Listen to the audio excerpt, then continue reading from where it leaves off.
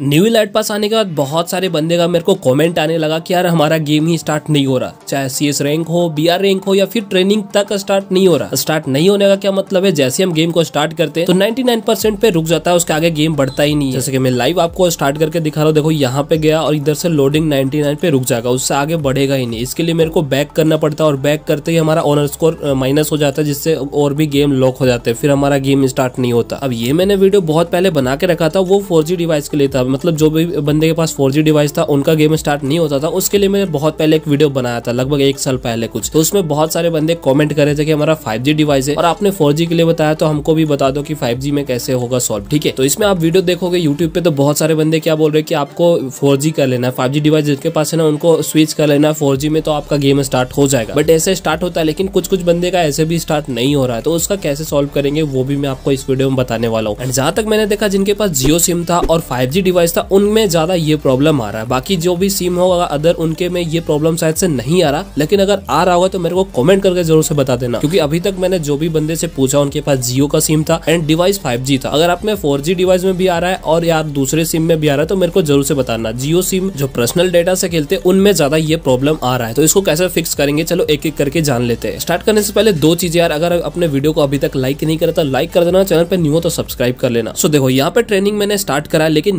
99 पे रुक जाने की वजह से मेरे को मजबूरन बैक करना पड़ा। मतलब हमारा गेम स्टार्ट यहाँ से नहीं हुआ। देखो, बहुत सारे बंदे इसमें क्या बोल रहे हैं कि आपको वाईफाई से खेलना यानी कि किसी दूसरे से हॉटस्पॉट ले लो, दूसरे फ़ोन से एंड अपने फ़ोन में कनेक्ट करके गेम खेलो, आपका हंड्रेड गेम स्टार्ट हो जाएगा। हाँ ऐसे में स्टार्ट हो जाता है बट यार ये पॉसिबल तो नहीं है। सबके पास दो फ़ोन हो, एक कनेक्ट करने के लिए हॉटस्पॉट दूसरा गेम खेलने के लिए। ऐसा पॉसिबल है क्या? सबके पास तो नहीं होगा। इसका सोल्यूशन क्या है? देखो, जिनके पास है वो आराम से कनेक्ट करके खेल लो जब तक ये ऊपर से सॉल्व नहीं हो जाता। यानी कि फ्री फायर अपडेट जब तक नहीं लाते, तब तक ये सॉल्व नहीं होगा। तो जिनके पास दो फ़ोन है, वो आराम से खेल सकते हो बट जिनके पास नहीं है, वो आगे देखो, मैं उनके लिए भी सोल्यूशन बताने वाला हूँ। सबका सोल्यूशन हो जाएगा डोंट वरी मैं सब एक एक करके बता रहा हूँ। अब देखो, दो डिवाइस के लिए तो क्लियर हो गया, जिनके पास होगा, वो खेल लेना। अब देखो, क्या करना है, अगर आपके फाइव डिवाइस है ना तो फोर कर लो। पहली बात फोर कर लो। अब यहीं पे सुन के मत चले जाना की है तो दूसरी तरह बता रहा है। देखो फोर करना है बट उसके बाद भी बहुत सारे बंदे का सोल्व नहीं हो रहा है। देखो फाइव में अभी तक एपीएन अपडेटेड वाला मेरे को नहीं मिला। अगर मिल जाएगा तो आप फाइव में भी इसको सोल्व कर सकते हो। बट अभी तक मेरे को एपीएन नहीं मिला। मैं कस्टमर केयर को कॉल करा था। कस्टमर केयर वाले ने बोला कि अभी 5G के लिए नया कोई भी दूसरा एपीएन अवेलेबल नहीं है आपका। जो भी डिफ़ॉल्ट है, उसी में आपको खेलना पड़ेगा गेम को चलाना पड़ेगा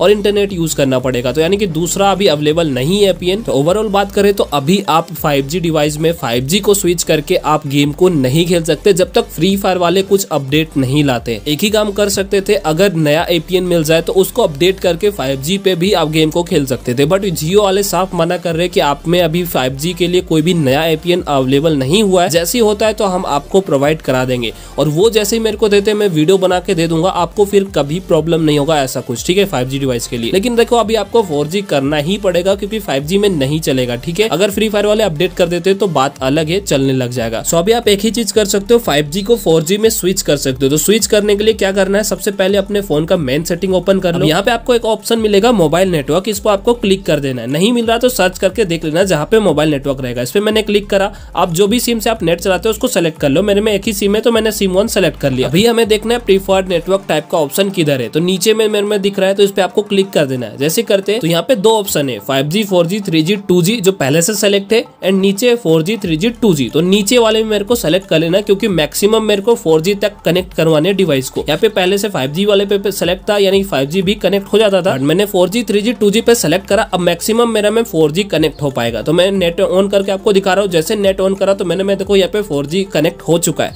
अब मैं गेम को खेल के देखूँगा तो 100% गेम चलेगा बट कुछ कुछ डिवाइस में ऐसे भी नहीं चल रहा तो कैसे करना है उसको? सो so, नेक्स्ट आपको एपीएन सेटिंग को रीसेट करना है। उसके लिए देखो एपीएन का सेटिंग सर्च करना है। अगर ना मिले तो एक्सेस पॉइंट नेम करके मिलेगा। देखो कुछ कुछ डिवाइस में एपीएन रहता है कुछ कुछ में एक्सेस पॉइंट नेम वही के फुल फॉर्म नाम है एक्सेस पॉइंट नेम उस पर आपको क्लिक करना है। देखो मेरे में सबसे नीचे अब रीसेट करने के लिए थ्री डॉट पे क्लिक करेंगे ऑप्शन आ जाएगा रीसेट एक्सेस पॉइंट नेम इस पे आपको क्लिक कर देना है। जैसे ही करेंगे तो एक और बार ऑप्शन आएगा, इस पे क्लिक कर देंगे रीसेट हमारा कंप्लीट हो जाएगा। अब यहाँ पे क्या करना है? नेक्स्ट डीएनएस अपडेट करना है। देखो, जैसे फोर में आप स्विच करोगे ना तो ये तीनों काम करने तो डीएनएस सर्च करने के लिए क्या करना है? बैक जाना है। और यहाँ पे सर्च में आप डायरेक्टली लिख सकते हो डीएनएस तो मिल जाएगा आपको। मैं मैनुअल दिखा रहा हूँ। मैं कनेक्शन एंड शेयरिंग में जैसे ही क्लिक करूँगा, देखो ये रियलमी का फ़ोन है तो इसमें आप सेम कर सकते हो, मिल जाएगा आपको वहीं पे। कनेक्शन एंड शेयरिंग में जाएँगे तो यहाँ पे देखो प्राइवेट डीएनएस का ऑप्शन मिलेगा, इस पे क्लिक कर देना है। पहले से ऑटो पे सेलेक्ट रहेगा बट मेरे को यहाँ पे स्पेसिफाइड डीएनएस पे क्लिक करना है। जैसे करते हैं तो यहाँ पे मैनुअल लिखने के लिए आ जाएगा डीएनएस तो यहाँ पे क्या लिखना है? DNS dot Google dot com ये लिखने के बाद आपको सेव पे क्लिक कर देना देखो, ध्यान से जो भी मैं लिख रहा हूँ सेम स्पेलिंग होने चाहिए,